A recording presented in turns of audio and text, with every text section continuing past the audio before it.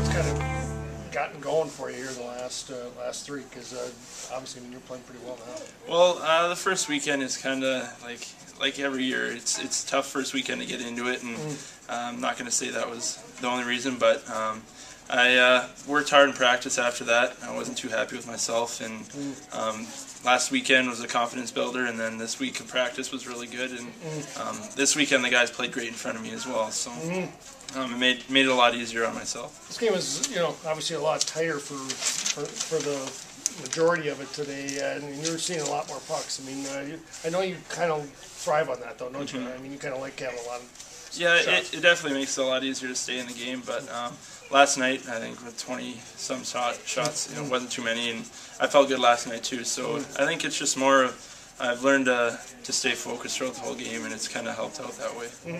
Well, number one thing is uh, we had that solid goaltender back in that. We had Faragher going on all cylinders today. He kept us in that game early. And, you know, came, come second and third, we didn't get a lot of chances, but we buried on him, which is a critical thing. Uh, we we uh, got a little finesse there, kind of came out flat footed, like you said, but it turned out well for us.